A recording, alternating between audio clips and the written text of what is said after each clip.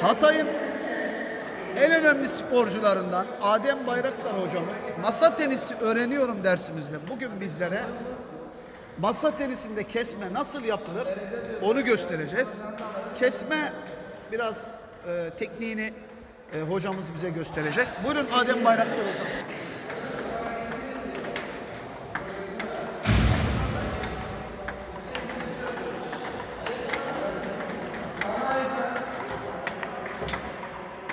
de